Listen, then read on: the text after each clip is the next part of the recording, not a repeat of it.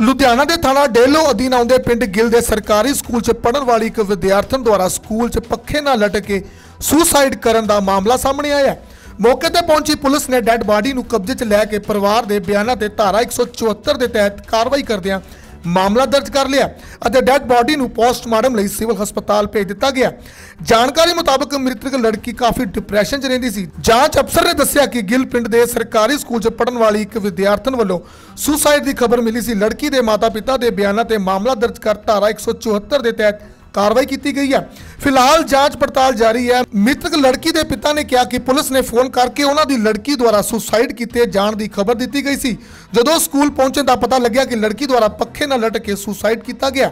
ਕੱਲ ਆਈ ਸੀਗੀ ਉਹ। ਕੱਲ ਸਵੇਰੇ ਹੋਈ 9:30 ਵਜੇ ਜਿਵੇਂ 9 ਵਜੇ ਸਕੂਲ ਲੱਗਦਾ ਹੈਗਾ, ਸਵੇਰੇ ਆਈ ਸੀਗੀ। ਤੇ ਛੁੱਟੀ ਹੋਣ ਤੱਕ ਬੱਚਿਆਂ ਦੇ ਨਾਲ ਸੀਗੀ ਉਹ।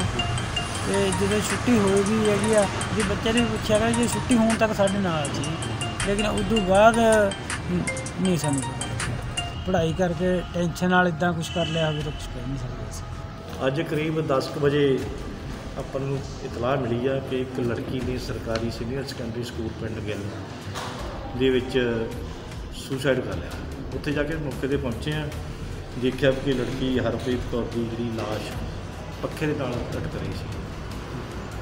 ਉਸ ਤੋਂ ਬਾਅਦ ਉਹਦੇ ਫਾਦਰ ਪਰਮਿੰਦਰ ਸਿੰਘ ਮਿਲਿਆ ਤੇ ਹਾਜ਼ਰ ਮਿਲਿਆ ਜਿਹਨੇ ਆਪਣੇ ਬਿਆਨ ਦੇ ਵਿੱਚ ਲਿਖਾਇਆ ਕਿ ਮੇਰੀ ਲੜਕੀ ਜਿਹੜੀ ਕਾਫੀ ਪਰੇਸ਼ਾਨ ਸੀ ਦਿਮਾਗੀ ਤੌਰ ਤੇ ਡਿਪਰੈਸ਼ਨ ਵਿੱਚ ਰਹਿਣ ਕਰਕੇ ਉਹਨੇ ਪੱਖੇ ਨਾਲ ਲੜ ਕੇ ਆਪਣੀ ਆਤਮ ਹੱਤਿਆ ਤੇ ਇਸ ਦੇ ਸੰਬੰਧ ਵਿੱਚ 174 ਦੀ ਕਾਰਵਾਈ ਅਮਲ 'ਚ ਲਿਆਂਦੀ ਜਾ ਰਹੀ ਹੈ। ਦਾ ਪੋਸਟਮਾਰਟਮ ਕਰਵਾ ਕੇ ਅੱਗੇ ਜਿਹੜੀ ਕਾਰਵਾਈ ਭਰਤ ਸ਼ਰਮਾ ਦੀ ਰਿਪੋਰਟ ਦਾ ਸਮਰ ਨਿਊਜ਼ ਲੁਧਿਆਣਾ।